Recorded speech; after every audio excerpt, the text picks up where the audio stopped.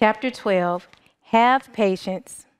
The Lord is good unto them that wait for him, to the soul that seeketh him. It is good that a man should both hope and quietly wait for the salvation of the Lord. Lamentations 3 25 26. As you fervently pray, identify Bible promises, and give thanks for your marriage, be sure to hope and quietly wait for the salvation of the Lord. Make a firm decision to have patience and keep looking to the Lord to save your spouse and your marriage. Consider the words of Jesus found in Mark 4:28. For the earth bringeth forth fruit of herself, first the blade, then the ear, after that the full corn in the ear. At the right time, God's power and generous gifts of rain, air, and sunshine can cause seeds to germinate. This same power can cause your marriage to be restored, so have patience. Luke 8:15 tells us, "The seed is the word of God." Let us sow the good seed in our hearts by believing, prayerfully studying, memorizing, and practically applying God's word. If we bountifully sow God's word in our hearts, we shall bountifully reap. 2 Corinthians 9 6. God promises that his word will not return unto him void, but it will accomplish what he pleases and prosper where he sends it. Isaiah 55 11. As we patiently do our part sowing God's word in our hearts, God will do his part and cause his word to go forth and produce results in our lives and in our marriages. Let's learn some practical lessons from seed sowing. My family and I enjoy the taste of freshly picked, homegrown produce, so we started a small garden a few years ago. We often start our seeds on a table in our family room near a couple of large windows. Even though the seeds are in the soil and hidden from our sight, we continue to water them because things are happening beneath the soil that we can't see. As the days, weeks, and months pass, we must patiently wait for the plants to germinate, grow, and ripen. At the appointed time, our patience pays off, and we are rewarded with luscious, flavorful produce that surpasses what's typically found in your average grocery store. Can your husband's heart be compared to soil with a seed buried beneath the surface? Yes. It may look like nothing is happening, but you don't know how the Holy Spirit is moving upon the soil of your husband's heart. So you must have patience. Step out in faith and plant abundant seeds of love and kindness in your husband's life. In the morning sow thy seed, and in the evening withhold not thine hand, for thou knowest not whether shall prosper, either this or that, or whether they both shall be alike good. Ecclesiastes 11:6. As you patiently endure challenging circumstances, believe God's promise that they that sow in tears shall reap in joy. Psalms 126, 5. Let's learn another lesson from seeds. Seeds have needs. In order to ensure proper development, we try to provide the right soil, the right temperature, and sufficient water for our seeds.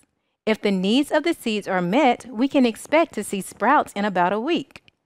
After six to eight weeks, we should have seedlings that are ready to be transplanted. I say should because sometimes our plants don't make it past the seedling stage. There are several reasons seedlings fail to thrive, but in our home, the top three reasons are too little water, too much water, or too much handling by curious little boys. Unfortunately, there are times when my sons get tired of waiting and they pluck the tender seedling out of the soil. Their impatience causes them to lose some of the rewards that await the patient gardener at harvest time. Can these gardening lessons apply to your marriage? Yes. Have you ever been tempted to give too little water by failing to share kind words or deeds with your husband? Have you ever been tempted to drown the tender seedling with a flood of angry, impatient words?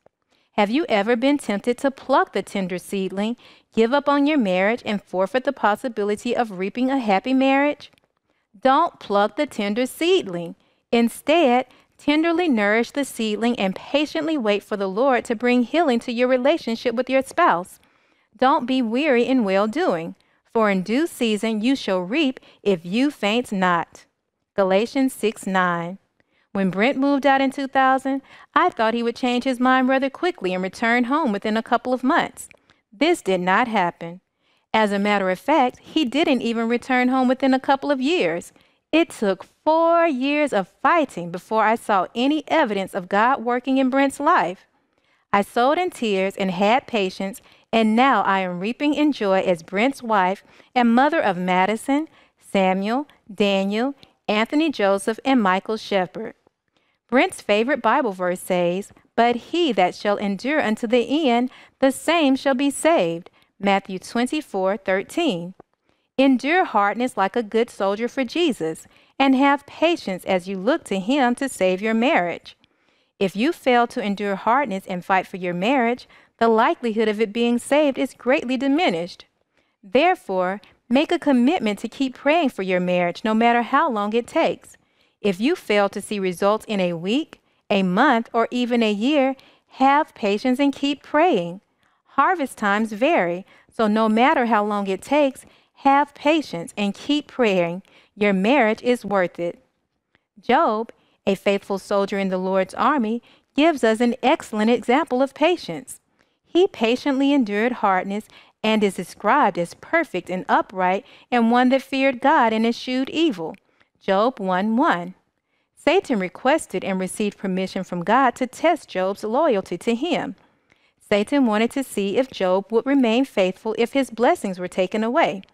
So during the testing period, Job lost his children, his livestock, and many of his servants. How did Job respond? Then Job arose and rent his mantle and shaved his head and fell down upon the ground and worshipped and said, Naked came I out of my mother's womb, and naked shall I return thither. The Lord gave, and the Lord hath taken away. Blessed be the name of the Lord. Job 1 20 and 21. Job praised God, trusted him, and remained loyal to him. What a powerful example for us to follow. Later, Satan smote Job with sore boils from the sole of his foot unto his crown. Job 2 7. Job continued to remain loyal to God. In the midst of his test, Job continued to speak words of faith. But he knoweth the way that I take. When he hath tried me, I shall come forth as gold. Job 23:10. Job's words came to pass, and he came forth from the test purified and refined. Job patiently endured, and he was rewarded. And the Lord turned the captivity of Job when he prayed for his friends. Also, the Lord gave Job twice as much as he had before. So the Lord blessed the latter end of Job more than his beginning, for he had fourteen thousand sheep, and six thousand camels, and a thousand yoke of oxen, and a thousand she asses. He also had seven sons and three daughters. Job 42, 10, 12, and 13. Are you ready for the Lord to turn your captivity, bless you, and give you more than you had before? Behold, we count them happy which endure. Ye have heard of the patience of Job, and have seen the end of the Lord, that the Lord is very pitiful and of tender mercy. James 5:11. Hope and quietly wait for the salvation of the Lord, soldier. He is working all things out for your good. His timing is not our timing. His timing is much better than ours. The Lord is ready, willing, and able to give you beauty for ashes, the oil of joy for mourning, the garment of praise for the spirit of heaviness. Isaiah 61 3.